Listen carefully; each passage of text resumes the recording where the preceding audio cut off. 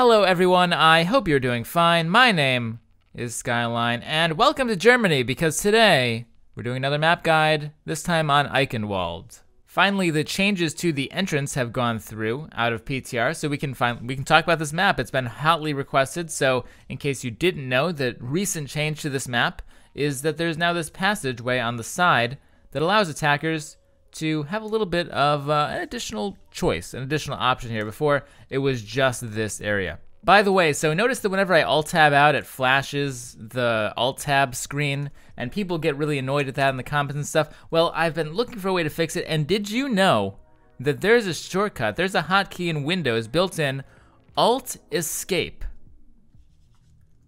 Alt-Escape. That's what it is, guys. So there you go. It's Alt-Escape. Who would have thought? So let's talk about the attackers first. Now, there are three entrances to this map. Alt Escape, uh-huh. There's this one, this one, and this one. And most of the time, people use this front entrance. And this front, front entrance is usually pretty tragic. You get wrecked by Symmetra bombs, you get wrecked by Symmetra turrets, you get wrecked by Junkrat bombs, Torb turrets, all the stuff wants to kill you. And it's pretty understandable because this is a very long pathway going uphill straight into a defensive position. But these other two entrances are actually quite nice. So let's go ahead and take a look at this one first. So what does this entrance, or exit I rather should say, afford you? So you go out here and you avoid this whole mess. Don't want to deal with that. Come over here, hug the wall, and now look, you're hidden this entire time. The defenders can't really see you because remember the, the defenders, they're going to be over here trying to look down this road. So now you come here and now you speed boost, bam, you're here. The first time the defenders get to see you at all is when you're here. That's quite close. That's so much better than when the defenders can normally look down and see you coming from way back here. I get a lot of comments and stuff about, oh, I can't get my team to follow your advice. Well, it's not so much about getting your team to follow it. Just if you take the right exit, then you're still one sixth of your team. That's one sixth better than if everyone just came careening through the front and all just took all that all that death. And how many times have you died straight out of spawn? I'm sure it's more than once. So avoid that for the future. Let's talk about this exit now. So you jump down. Obviously, we avoid that big mess of a road. And we have a, this is more for a longer range composition. So this other one, obviously, this entrance over here is more for a close range divey composition because you come in, you start close. This one, you start much further away, obviously, but it affords you access to the stairwell, so you can put a lot more pressure on the gentlemen who uh, are perhaps sitting up here. Usually that's a soldier, McCree, Roadhog, those types of heroes. Plus you have access to this. So what this affords you is you can kind of peek out here with heroes, peek out here, and just work up. You can push up and utilize a little bit of longer angles, but still with relative safety. And then you can either decide to push straight out onto the point. You have this option here on the side, this, this entrance right here. Or you can push up the stairs and then go onto the point this way. So a lot of options. That's more for a longer range or standard, more DPSy type of composition uh, as opposed to a divey thing. So, like I said before, DPSy longy, longer range and divey shorter range. That's sort of how these two entrances work. So which way do you go? Normally you go the way that the defenders aren't. So if the defenders are over here, you go that way, and if the and if the defenders are over there, you go that way. Usually that's how it works, right? So if we have to go this way, there are pros and cons to both, by the way. So if you have to go this way, it's a little bit longer going through. You have to deal with this high ground. You have to maybe deal with that high ground if you don't have a hero to clear it out. But if you have access to this building to work from, this back area where you have the small health pack, you can have a flanker come around. You can even push your entire team around up here, up the stairs, and then clear out this high ground. So this is, like I said before, much more of a divey type of area for closer range teams that want to walk up and just sort of, you know, punch punch the other team in the face. This side is better, once again, for longer range compositions. You have this nice car. You can stand either a widow or a soldier, or all sorts of nice stuff behind here, Zenyatta, and shoot Plus you have access to the stairs, which gives you this great, great high ground. If you have a hero that can utilize it over the point, it also lets you to duel directly with that high ground. So your DPS players can duel with whoever's up there. And then, of course, you just have access to the point. You have access to this back area as well, which is pretty strong for denying any weird stuff the defenders are doing or denying their supports pretty often. You can just come up these stairs as well to deal with the people up on this balcony. So really the first point of Eichenwald has a whole lot of tools really available to the attackers. It's just that a lot of times teams will have difficulty because they'll just be going up the road and that's not a really good route. You have to be smart about it. You also have to be very decisive. Lucio is particularly good on this map in solo queue because it makes teams decisive and when you have whenever you have these long distances to traverse, moving up slowly will always get you kind of killed his attackers. So let's look at the defense now because we've talked enough about the uh, about the attack. So once again, we are pretty much split in two this map. You can either defend this side or you can defend this side. And like I said before, again, it has its own pros and cons. But you must all defend on one side. A lot of times in Eichenwalde, you'll see teams broken because you'll have like DPS, tank, support over here, and then maybe like a tank, like a Roadhog, let's say, and then a DPS over here, and then another support over here, and they'll just, the attackers will just push one side and they'll kill you. So you need all six players on one side. All right. Let's start with this side because it's a little bit more common. Well, it's, it's a little more obvious because you have the bridge. So the thing that this side gives you is it gives you the bridge. gives you access to it very easily. You can have a Roadhog up here, McCree, Soldier, just doing work. And if they get pushed, it's no problem. They can just come back. And all other all the rest of your team is down here. Remember, everyone's on the same side. If you've ever played on Eichenwald before, you know how insanely powerful this bridge is. The bridge is so, so, so, so, so strong. So, this side of Eichenwald is better for preventing teams from initially pushing through. It's better to stop that initial push and stop them before they even get through the gate. It is weaker, however, when they fully push through, because let's talk about the pros and cons of this side. So, on this side, you don't have access to the bridge because anyone up here, like let's say you had a soldier up here, and the rest of your team's over here, if they push the soldier at all, he's dead because he's he has to run that way and he's all alone and it's a bad time for him. So instead you're playing this car, maybe this corner, maybe you're playing up here, the stairs, this particular angle here. So there are lots of angles to play from. They're just not as good as the bridge and in that building. So it will be easier for the other team to push through. However, what you're denying is you're denying access to this stairwell. You're denying access to the high ground. So when it comes time to defend the point, they, the attackers, will be pushing in from this side, and you, the defenders, will have this. You'll have car, you'll have access to this balcony, you'll have all sorts of things. So this is better so to recap, this side is better to defend the point with, and this side is better to defend the choke with. It's all really a matter of preference. Now, this is very rarely a problem in solo queue, even at pretty much any level, but there are all sorts of heroes that can come around here. Genji, even Widowmaker. There are flanking routes around that they can stab you from the back, and that will happen if you're on this right side. You have to watch out for that. Just have one support if you're a support, particularly. Keep an eye out on that. And additionally, Pharah, Winston, D.Va can all get over this building and mess you up from behind if you're on this side. So again, you have to just keep an eye out for it. Make sure you're pressing tab, you're keeping an eye on what heroes the enemy team has, and if they have those types of heroes, you have to be very aware on defense. But here we are on the second point. So the second point, another point that a lot, I mean, just every part of Eichenwalde teams have a lot of trouble with coming out of the gate.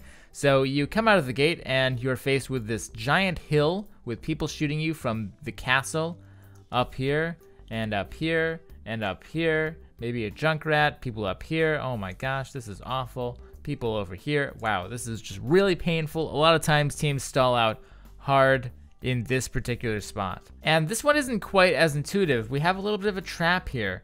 This is really sort of a trap. If you get up here and you live on most heroes, chances are they allowed you to because climbing up the stairs is a pretty harsh prospect. Someone can be shooting you from up here. They can be shooting you from up here. They can they can see you very clearly from up here. So you're not sneaking at all if you're going up here. Everyone's watching you. Everyone's shooting at you.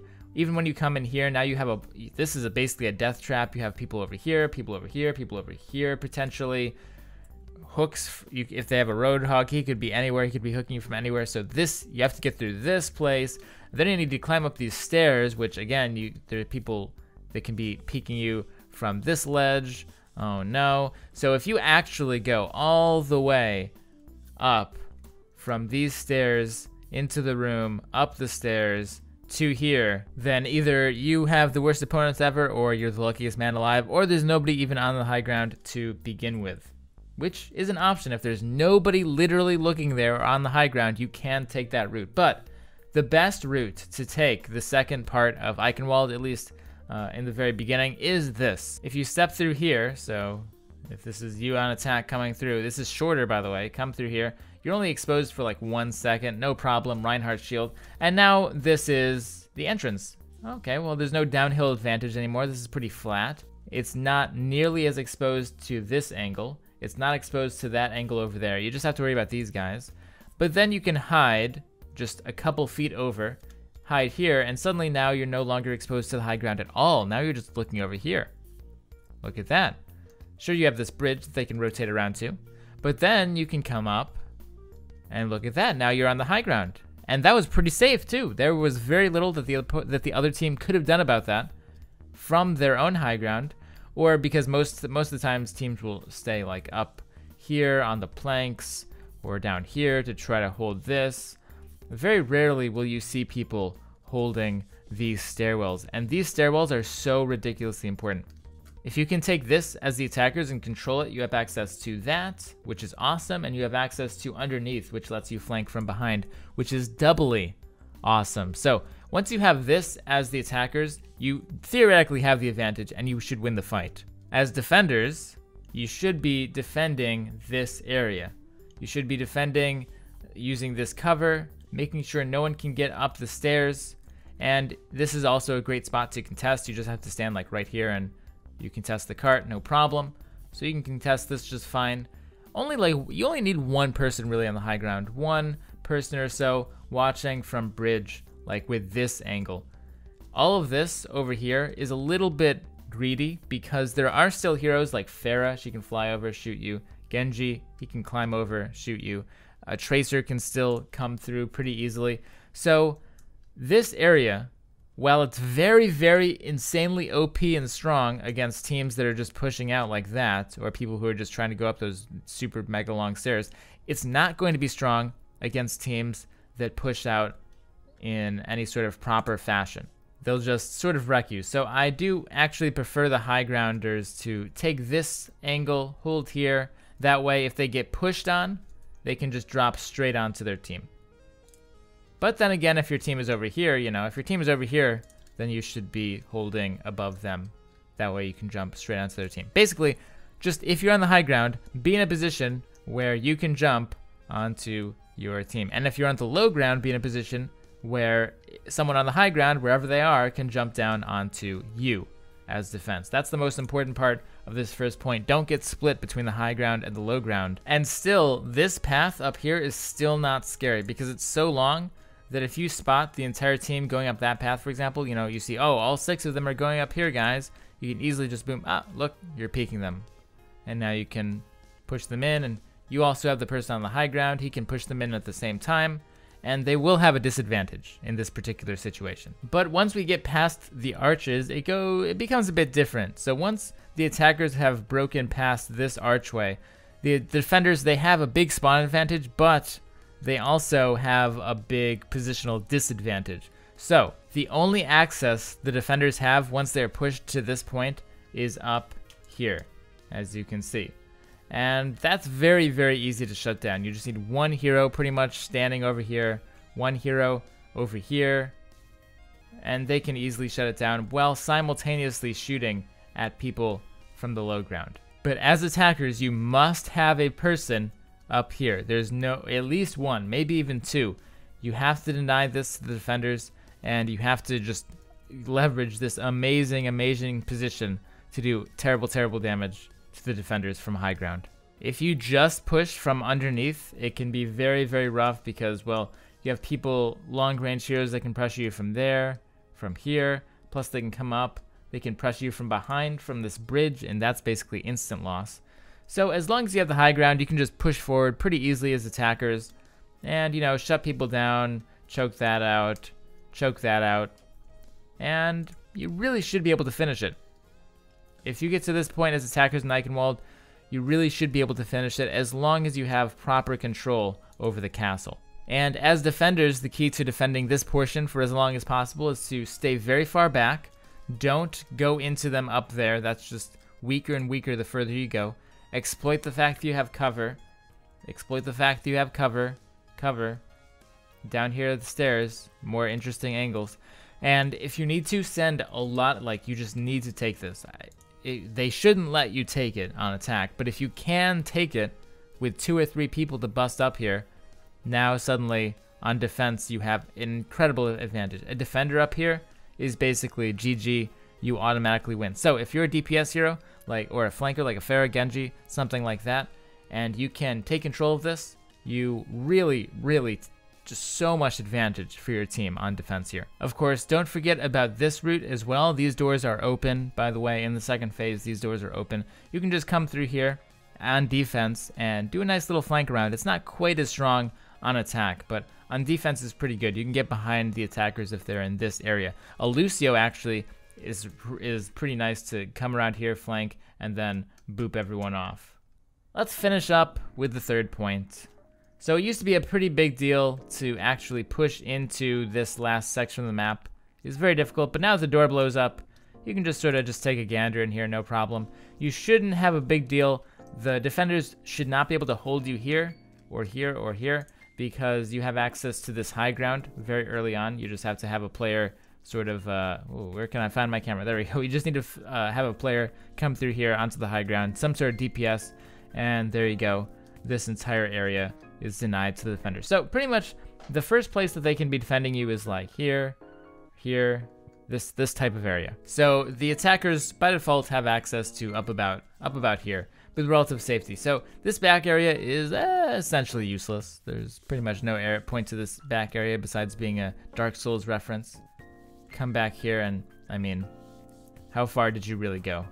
It can be it's very very very situationally useful if the defenders are holding like specifically right here, like in this one exact spot, because then you can come out here, come over here, and then hit them from behind. But it's a very, very specific situation. If the defenders are holding any further back, then it suddenly becomes completely useless.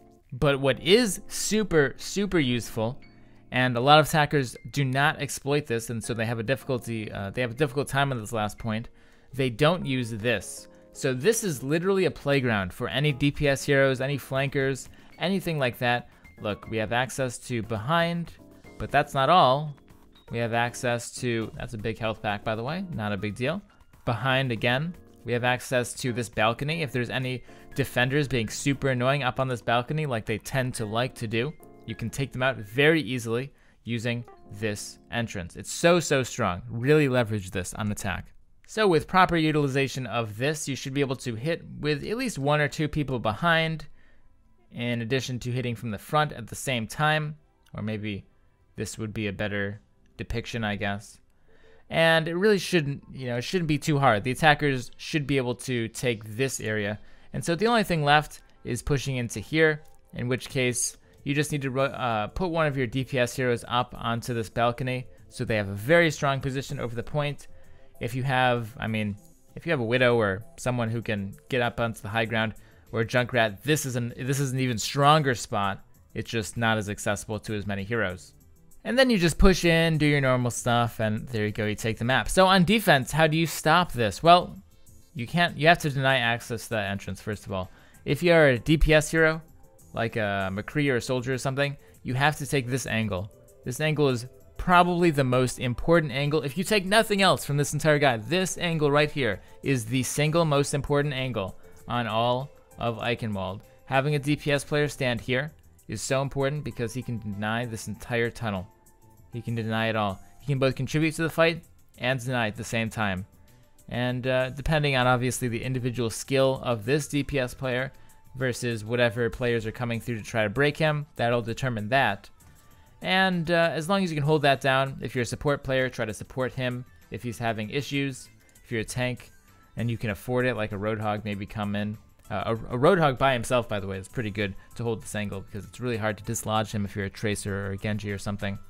So as long as you hold that and deny it, you as defenders should have pretty easy time holding this actually. Just hold the balcony as well if you want, and should be too shouldn't be too hard. Just deny that. This is really where a lot of the map comes down to, is this back passageway. If the attackers get access to that, it's basically over. If they manage to get to this last stretch, if they're like past here, it suddenly becomes very, very difficult to deny this. Very, very hard. So now you have to start using this balcony. And you can duel the opposing DPS with this angle, or you can hide from them using this angle. Your supports can hide behind the pillars, and you really just have to have one tank or so step up to contest the payload.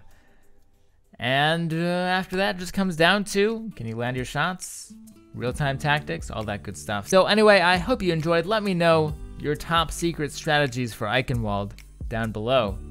Or, of course, any questions or comments, more than welcomed as well. Never forget to stay positive have a great day. See you soon.